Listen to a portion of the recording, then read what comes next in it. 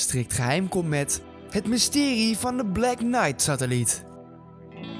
In februari 1960 wordt een onbekend object gesignaleerd dat om de aarde cirkelt in een baan van de Noord naar de Zuidpool. Zo'n baan om de aarde is de perfecte manier om de aarde te observeren.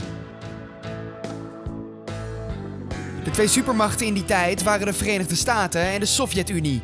Maar beide hadden geen satellieten in deze zogeheten polar orbit. Het wordt bekend als de Black Knight-satelliet en radiozenders vangen er rare signalen van op die ze niet kunnen vertalen. De Amerikaanse overheid identificeert de Black Knight gauw als niet meer dan ruimteafval.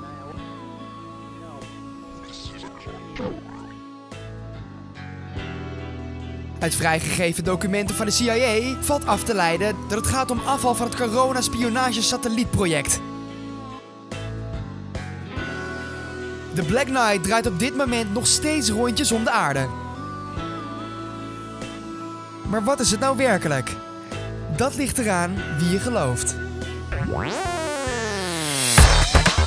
Wordt de muziekindustrie gecontroleerd door de Illuminati?